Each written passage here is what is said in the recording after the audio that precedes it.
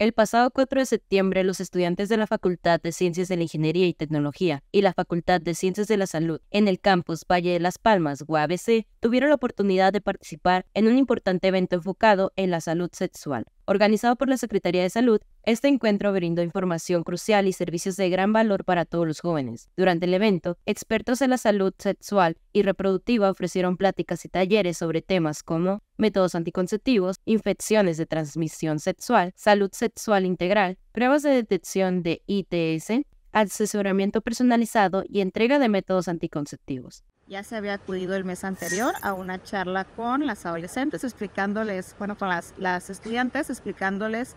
los diferentes métodos anticonceptivos, los pros y contras de cada uno de ellos y se hizo un listado de quienes estuvieran interesadas y el día de hoy acudimos con el camión del, del EduSex. El EduSex es un consultorio móvil eh, que está diseñado para este, brindarle la, atención a todas las adolescentes. Esta iniciativa es un paso importante para promover la salud sexual en el ámbito universitario. La UABC, a través de la Secretaría de Salud, se compromete a seguir ofreciendo este tipo de actividades para el bienestar de toda su comunidad estudiantil. PSN Noticias informó Isis